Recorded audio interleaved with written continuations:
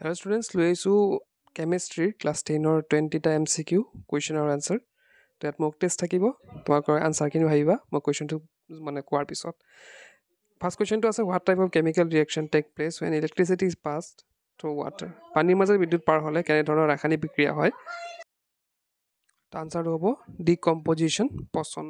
Second কুৱেশ্যনটো হৈছে substance added to food containing fats and oils is called চৰ্বি আৰু তেল থকা খাদ্যত যোগ কৰা পদাৰ্থক কোৱা হয়। তো আনচাৰটো হ'ব এণ্টি অক্সিডেণ্ট থাৰ্ড নম্বৰটো আছে the colour of white silver chloride after placing it in the sunlight for some time will কিছু সময় সূৰ্যৰ পোহৰত ৰখাৰ পিছত বগা ৰূপালী ক্লৰাইডৰ ৰং কি হ'ব সেইটো সুধিছে। তো আনচাৰটো হ'ব গ্ৰে ধূসৰ। ফ'ৰ্থ নম্বৰটো দিছে identify the catalyst from the following reaction তলত দিয়া বিক্ৰিয়াসমূহৰ বিজাৰক পদাৰ্থসমূহ চিনাক্ত কৰা। তো এইটো বিক্ৰিয়া যোনটো আছে তাৰ বিজাৰক পদাৰ্থ চিনাক্ত কৰি কৰিব দিছে। তাৰ আনচাৰটো হ'ব দ্য চলভেন অ' বিজাৰক পদাৰ্থ অ' ফাইভ নম্বৰ দিছে when which of the following is used as an acid car indicator for blind students চকুৰে নেদেখা ছাত্ৰৰ বাবে তলত উল্লেখ কৰা কোনটোক অম্ল কাৰ সূচক হিচাপে ব্যৱহাৰ কৰা হয়? ইয়াৰ অপশ্যনকেইটা দিয়া হোৱা নাই তো আনচাৰটো হ'ব ভেনিলা এচেঞ্চ ছিক্স নম্বৰটো হৈছে soap solution tested bitter because soap rock চাবোনৰ দ্ৰৱৰ সোৱাদ তিতা হয় কাৰণ চাবোন প্ৰবত তো আনচাৰটো হ'ব alkali খাৰক which of the following gases is produced when piece of sodium is added to dilute sulphuric acid পানীয় পনীয়া ছালফাৰিক এচিড প্ৰবত ছডিয়াম এটুকুৰা যোগ কৰিলে কোনটো গেছ উৎপন্ন হয় আনচাৰটো হ'ব এইচ টু এইট নম্বৰ আছে which of the following is not a base তলৰ কোনটো খাৰক নহয়? অপশ্যনকে দিয়া হোৱা নাই ডাইৰেক্টলি এনচাৰ আছে। তো কাৰেক্ট এনচাৰটো হ'ব C two H five O' H nine number আছে which of the following is the correct arrangement of the given metals in the ascending order of their reactivity তলৰ কোনটো? ধাতুবোৰৰ বিক্ৰিয়শীলতাৰ আৰোহী ক্ৰমত সঠিক ব্যৱস্থা। Zinc iron magnesium sodium. Zinc iron magnesium sodium এইটো কি হ'ব? এচেণ্ডিং অৰ্ডাৰ কৰিলে আনচাৰটো হ'ব sodium magnesium zinc iron ten number আছে non metal which is liquid at room temperature সাধাৰণ উষ্ণতাত জুলীয়া অধাতু। অধাতুটো কি হয়? ইয়াৰ আনচাৰটো কি হ'ব? ব্ৰমিন ইলা ইলেভেন নম্বৰটো আছে।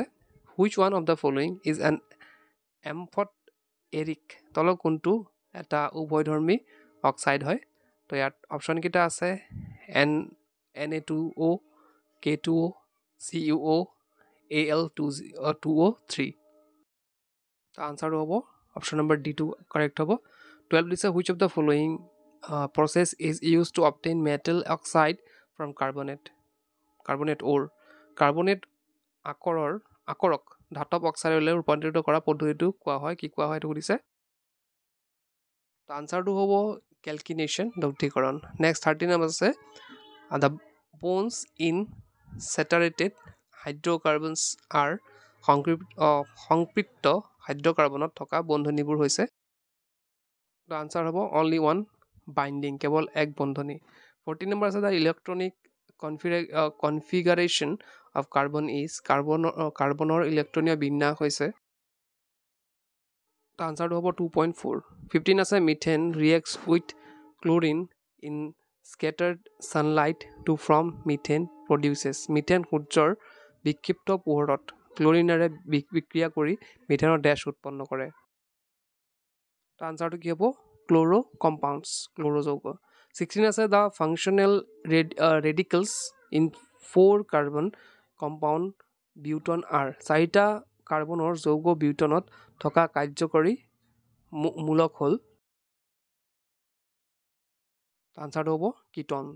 ছেভেণ্টিন আছে the oxide of element K determine using Mendeleev's periodic table has the notation মেণ্ডেলিভৰ পৰ্যাপিত তালিকা ব্যৱহাৰ কৰি নিৰ্ণয় কৰা কে মৌলৰ অক্সাইডটোৰ সংকেত হ'ল আনচাৰটো হ'ব K two O' eighteen number আছে at the time of Mendeleev the number of elements known was মেণ্ডেলিভৰ সময়ত জনজাত মৌলৰ সংখ্যা আছিল। আনচাৰটো হ'ব ছিক্সটি থ্ৰী নাইনটিন নম্বৰ আছে which elements has twice as many electrons in the second shell as the first shell দ্বিতীয় কক্ষত প্ৰথম কক্ষৰ দুগুণ ইলেক্ট্ৰন কোনটো মৌলৰ? নেক্সট আছে কাৰ্ব এনচাৰটো হৈছে কাৰ্বন টুৱেণ্টি আছে Newlands relation is called new language সম্পৰ্ক বুলি কোৱা হয়। তো আনচাৰটো হৈছে ল অফ অক্টেপছ অষ্টকৰ নিয়ম।